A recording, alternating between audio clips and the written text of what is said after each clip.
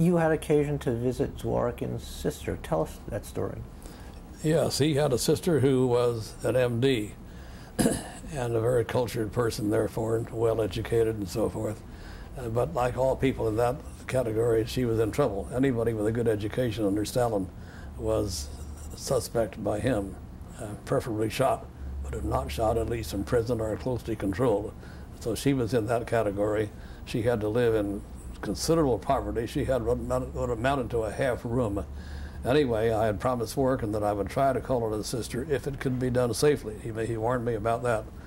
Uh, so I established contact with her.